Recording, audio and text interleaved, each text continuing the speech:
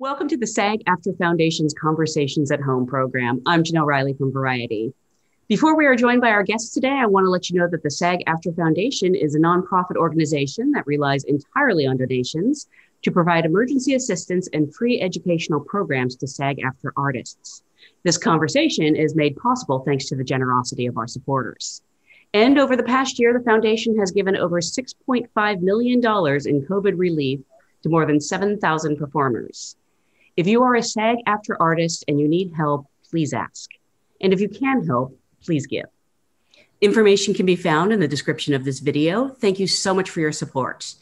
And now, without further ado, it is my pleasure to introduce the stars of Genius Aretha, Courtney B. Vance, and Cynthia Erivo. Thank you so much for being here. Thank you for having us as I said, this is an audience of SAG AFTRA actors. So I actually like to start at the beginning by asking, how did you get your SAG card? What was the the job that brought that that special card to you? You go first, Courtney. Um, uh, that would probably be um, the first film was Hamburger Hill. Oh, cool. Oh, really? Shot in, in the Philippines. Yes. Wow. That was your first movie. First movie. They threw you into the deep end yeah, we were we were deeply in uh, in the uh, um, the the forest of uh, um, the rainforest of uh, the Philippines. We were in uh, uh, Makati, and when it rained, it was when it was supposed to rain, the sun was out, and when it was supposed to be sunny, the, it rained, and that's just that's just the Philippines for you in the summer. Wow. Right. Cynthia, for you. Uh, my my SAG card was given to me when I did Widows. Um, so I'm a newbie, uh, kind of. So that was my first film, and that's when I got my SAG card. Yeah, doing Widows with Steve McQueen. Jeez, the, the, this question like usually gets such humble responses. Like people did a McDonald's commercial, and you both came out of the gate in great films. well, again, congratulations on Genius Aretha. I actually want to go back to the beginning and ask how this project found its way to you and, and what attracted you to the roles. Uh, Courtney, I've heard you really connected to C.L. Franklin because you also grew up in Detroit and both music and gospel were a part of your life. Yes, I, I grew up in Detroit. I was uh, um, uh, evidently we were on West Grand Boulevard, and evidently that uh, uh, when we were, I was about seven, six, seven, during when the riots happened in 1967 and uh, evidently the the New Bethel uh, Baptist Church was about a mile and a half from there. Mm-hmm. Um, but I was a, a, baby, so I don't, you know, didn't know anything uh, about uh, about the, them. Uh, but um, um, I grew up, you know, we grew up in the same city, and I, I had heard a lot about uh, the fact that the Reverend was very very close friends with Martin Luther King and and in my research, you know, he was uh, there, there was all kind of celebrities at the house and politicos at uh, at their house uh, all the time. So it was the absolute center of of the civil rights movement and the in the church world. What interested you in playing him? Um, the uh, uh, I'd heard that that Anthony Hemingway was uh, was um, was going to EP it and direct some of the episodes. So I, once I heard that, I was very very interested and and I love uh, SLP. We go uh, back 30 years when I was uh, about to do her first play, uh, The Last Black Man in the Whole Entire World, and Six Degrees of Separation came up uh, at the same time. So I had to choose and um, broke her heart and kind of mine because I really wanted to play that uh, play that role. And but um, you know the circles go around, and here we are, 30 years later, um, and we're back. So but it was those two. And then I'm a huge fan of Brian Grazer and uh, Ron Howard, and they had just done uh, a Pavarotti documentary in which I was just weeping, you know, uh, at the end of it uh, and during it. Um, so I, I, the the compilation of complication of all three of those, um, it uh, was the the light was the light was going off. Do it, do it, do it. So. And Cynthia, for you, obviously, Aretha is a legend and an icon. Was it exciting to have the opportunity to play her, or intimidating, or, or both? Um, I guess a combination of both. Except I probably wouldn't use the word intimidating. I probably would use the word um, duty. I felt like there was a uh, a huge sense of responsibility uh, that came along with playing this particular role, um, and I was very excited by it. I was surprised that it was even coming in my direction because I, I didn't know it was happening until uh, someone had told me that someone had seen me singing on a red carpet, and that was why they thought I might be right to play this this role. Um, so it all sort of became a kismet type of thing. It all sort of happened um, almost with without me realizing it was happening. So when it came along, I knew that uh, there was a special thing in being able to celebrate someone's life in this way. Um, I mean, you've both played real people before to great acclaim, obviously. Um, I'm curious uh, if you enjoy portraying real people because you have so much research to draw on, or if it differs from, you know, when you're creating a character from scratch. And I also assume it comes with a lot of extra responsibility when you're playing someone who really lived and breathed. Yeah, it was uh, for for me. It, it uh, and it just it really depends. Uh, I was um, uh, I was in, I didn't want to see any footage for um, uh, for Johnnie Cochran. Uh, I felt that that would intimidate me. Hmm. so I simply read Jeffrey Toobin's book a few times, and then I saw a kernel of something, um, and that that dragged me through whenever I felt myself. Because in, in, television, you're working so fast, two or three episodes at the same time.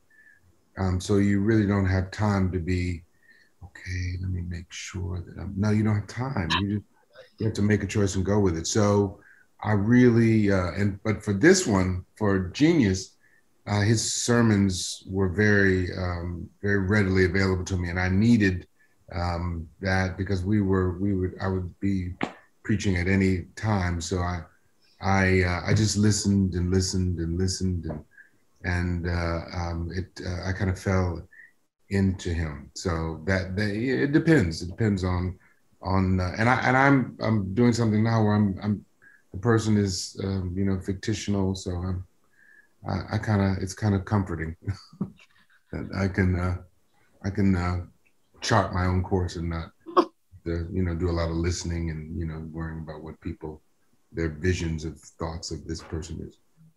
So had somebody recorded his sermons and they still had them on audio? No, he had records. He had sermons on record. Yeah. Wow. Yeah, he, he essentially was a, a, recording artist. He was one of That's the first amazing. ones to uh, to record his sermons and then you know yeah. sell them. You know, so people could buy his sermons like albums. They mm-hmm. were albums. So. Mm-hmm wow, that's amazing. And mm-hmm. Cynthia, obviously for you, there's there's so much out there about Aretha Franklin, which yeah. you know can be good, but also you know it's that's that's yeah. go through. It was sort of a, a, departure from what what I had experienced with with Harriet, because with Harriet there isn't really very much. You have you have a couple of books, you have imagery, you have pictures, and they only just recently found a, a newer image of her when she was, I think, in her twenties, which actually was helpful because that was closer to the age uh, that she was when um, when she was working with the Underground Railroad and she was going back and forth. Uh, uh, and, sa- and saving people and, and, bringing people to freedom. Uh, she was very young. And so, uh, what I had to go on was sort of my imagination, what I had read, images that I had seen. Um, and, and because she, she didn't she didn't write she couldn't write herself. Often it was um, someone else's uh, idea of who she was and the knowledge of who they met uh, when they met her. So it's bringing it was about bringing those things all together and creating something uh, for myself that felt like harriet. Um, there's no recording of her so you, there's no uh, you don't have an idea of what her voice sounds like so you have to find whatever voice felt right for her. I i don't know for me i, I just in my head knew that she wasn't a soprano speaking up in the in the the rafters of her voice just because of what she had to do and how much she had to command. Um, with Aretha, there's plenty, and for, but for me, I had to sort of focus it and decide what information I needed that would help me move forward in telling her story. And so for me, it was listening to her music for sure because we were I was singing a lot of it um, on set, and everything was live pretty much. Maybe one or two songs we went back and re-recorded, but everything else was on set and live. And so, in order to make sure that I was at least adhering to the decision decisions that she had made in her music. I would be listening over and over and over and over again. And I had a, a wonderful uh, vocal coach who would sit with me and we would work through the songs, almost like homework, just finding the little decisions and tricks and turns that she would do, breaths that she would take, so that we would be as close to the music as, as she was. Um, and I love watching her interviews because I felt like they give you an insight into who she was when she wasn't with her family and and and how that changed. Because from if you take a look at an interview that happens maybe in the late 60s that and then you compare it to an interview that happens in the late 80s all of a sudden she sort of found herself in the 80s and she's playful and she's fun and she's joking with the camera and she's laughing. And then sort of into the 90s where you know towards the end of her life she becomes a sort of more debonair, more sort of tongue in cheek. She can answer if she wants to. She can give you a one word answer if she wants to, or she can give you a whole sentence. It's sort of how she she grew, and you could there's sort of a weird, wonderful progression that happens in these interviews as you watch her. And so I was sort of devouring all of that and all of her music and seeing as many images and pictures as you possibly can because she also made uh, statements with with what she wore and how she dressed. Yeah. That's what was so fascinating to me about this series because I just have an image of Aretha Franklin that she emerged fully as Aretha Franklin mm-hmm. as I knew her in the 80s and 90s. Mm-hmm. And I learned so much about her life, thinking I knew her life, and apparently I didn't. Um, was there anything that you learned that you know tr- sort of dramatically changed your perception of Aretha when you began to research these characters? I think for me, the the thing that that struck me as surprising was how long it took her to, to find her sound, how, how hard she worked to, to find out who she was, um, and that it wasn't just about finding a particular style of music. It was really about finding out what she wanted to say with her music, who she wanted to be with her music, and, and what she needed to tap into in order to find the sound that she she ended up creating. This her being the Queen of Soul came from being unashamed of pulling from her gospel background, pulling from the music that she was singing when she was a child, in order to make the sound uh, her own. I, I just, I guess, I didn't know how much time and how how much effort it took for her to get to that place. Um, and really and truly, she. Re- you know, I didn't know how early she started singing for one thing. I didn't know how early her first recording was. Uh, and so to know that it took, I guess, almost, say, 10, 15 years after the first time we hear a recording for it to be, for her to get like a proper number one, for her to become popular was a surprise to me. Yeah. You just all, I guess you, when you hear Aretha Franklin, you assume she was always popular. Mm-hmm. Everybody loved her always. And Courtney, I don't know if you knew anything about CL going into this project or, you know, if, if you were familiar with him at all, but I'm sort of curious about what your perceptions were of him and if they changed over the course of making this.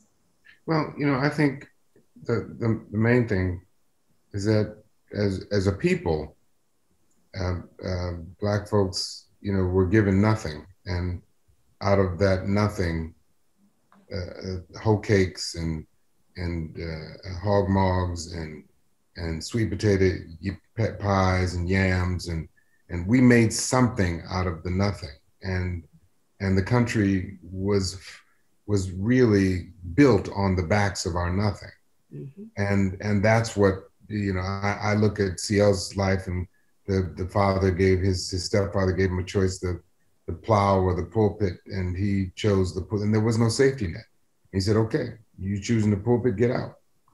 And uh, uh, Aretha, you know, uh, uh with her her music and uh, um, going to New to New York, and you would think, as as Cynthia said, that she was like Nancy Wilson, be able to go and, and within six months she would have her number one. But that wasn't her rhythm. But even though that wasn't, she didn't stop.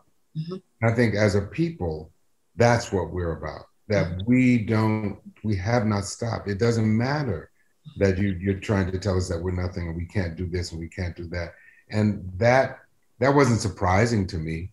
Um, that was that was more reaffirming mm-hmm. that that that that CL instilled that in his children.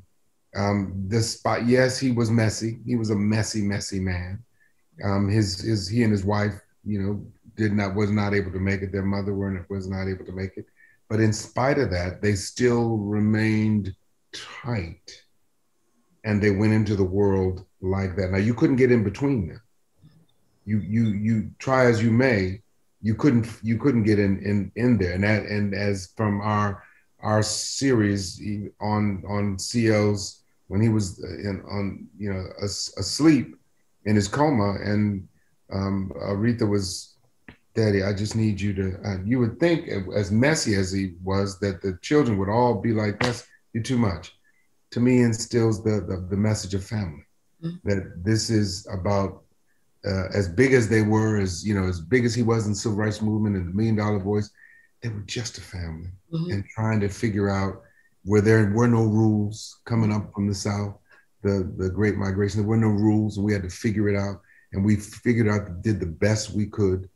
And so for for me it was just a a, a reaffirmation of the resiliency of of of people of color. And and that is the message the main message uh, for for this story of of resiliency and and the power of the human spirit.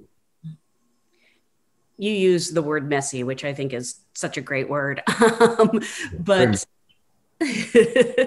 CL and Aretha obviously did have a really complicated relationship. Mm-hmm. And I'm really curious about, I mean, your whole cast is fantastic from top to bottom. It's such an amazing ensemble. But the two of you have these amazing scenes together, and you really do feel like family for all the good and bad that that entails. I'm really curious about working together and, and Courtney working with the actress who plays the younger Aretha um, also as well. Uh, she's she's just a powerhouse. yes, she yes she is. Yes, she um, is. It, it, was it was wonderful to be able to go for back and forth between the, the young and the um, the mature, uh, more mature Miss uh, and uh, um, and the, the, the the casting brilliance of of the the young girl, um, who I just adore. We all did. We just she's wonderful, wonderful. You know, just coming in, uh, and her first scene being fifteen hundred, you know, uh, singing her first time singing, yeah. and she was so nervous. Uh, uh, Cynthia, she she just she's just basically ran off the pulpit and went back into the little her little room, and she was just shaking. Oh. So you know, we had to bring her back out, and the the the uh, uh, the congregation. It was just like life. The congregation was like, yeah. okay, it's okay, it's okay. Yeah. And she, uh, you know, after the third go round, she was a pro. So it was it was Sweetheart. Beautiful. And this lady here, oh boy, come on now, we just we just followed her. You did. Where we going now? Come on, girl. Tell us what we're doing today. Oh, and you know, for me, I, I I didn't spend a lot. I didn't. I wasn't in those scenes where she was, you know, you know, trying to figure out her her sound and her her her rhythm, and you know, slapping people and smoking and making making jokes and drinking and you know, just trying to find her her way. I mean, it's just it was brilliant to actually see you, Cynthia, you know, find your way with Aretha and the shyness at first, and you know, and then after a while, and, wow, you hit me, I'll hit you right back. You know, it's just it was beautiful to see the, the transition. Thank you. I had so much fun working with you know one of my favorite scenes is in the doctor's office where he tells you that you have to uh, rest. I don't know, there was just something it was so easy. Just the laughter, the back and forth. Mm-hmm. And uh, I love watching that scene. I think that there's something really special about being able to be in the space together and play that tennis game, that back and forth, that you're finding the rhythm and then you, you know, it moves fast and moves slow. And we just, I had a wonderful time being with it. Had, it was like a masterclass uh, working with you. Yeah. So I love you very much. You know, I feel about you the same.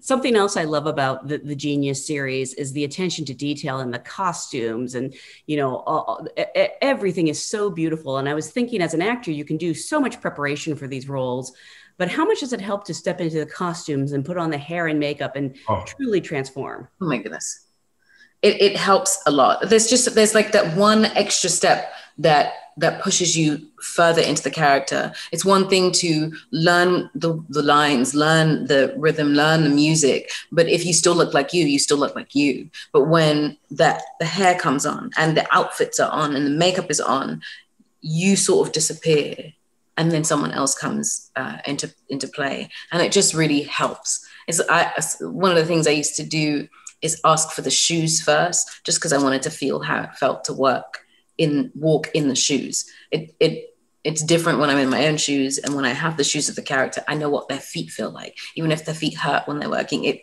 shifts how they move, shifts how they speak, shifts how they they talk. Um, and so that being able to put the costume on, being able to put the shoes on, uh, informs how you move as a as a as a character in that world. Yeah. It's, it's, and, and the time period was so was so mm-hmm. about clothes. And, mm-hmm hats and you know you, know men having processes you know afros and you know i just you know i the, it is about the it's all about the hair yeah we know women know it but uh, yeah. but but I, I had a i had a do so you know it's, it's all about the hair I'm, I'm falling back into them right now it's all about the hair baby it's all about the hair you know, it's uh, just seeing seeing Cynthia. What wig is she coming out with today? which it. today? Which you know? beehive or which beehive? Know? Which Farrah Fawcett redhead? Oh. Yeah, you know, it's just wonderful to sort of watch because it, that really did inform what she was doing and what what is she going to come out with today? And then you know one year it was blonde one year it was red she was a redhead it was auburn one year it was pitch black another year it's long then it's short. In the 80s and 90s it was the choppy with the with the long um, piece in the front. She just would keep changing it. She just would like play. And it was just so much fun to like keep moving around in these spaces and look what are we doing today okay we're we're here. I know which where where she's sitting today. I know how she feels today. I know oh she got her afro. We got the dashiki today. Okay, I understand. I get it. It was yeah. so, your team, your your your glamour team was wonderful. Was, and then sometimes the eyebrows, the the mascaras is just, it's just it was so wonderful to see the transformation, and it was absolute. Uh, Janelle was an absolute transformation. We all were like, okay, all right, she's okay. Let, let me do the scene now. And between that, the hair, the the costume, the costume. Jennifer. Jennifer. Jennifer did so much research on the costuming. Uh, I would walk into her office and she would have pictures um, everywhere, and and she would go so far as she found someone who would create uh, exact replicas of um, of the fabrics that were used for some of the clothes that Aretha would wear. Um, and then she would recreate the outfit from that. Um, she was incredible. Jennifer was wonderful. She did so much work, so much work. Unbelievable. I love this idea of literally and figuratively walking in someone else's shoes. Mm-hmm. I think I think that's such a, a great place to start. Mm-hmm. Um, I want to remind everyone watching at home that all the episodes are now available, so you can watch this again and again you're both so wonderful in it. And on behalf of the SAG AFTRA Foundation, I want to thank you so much for sharing your experiences, process, and craft with your fellow performers. Thank you so much for being here. Thank you for having us. Thank you.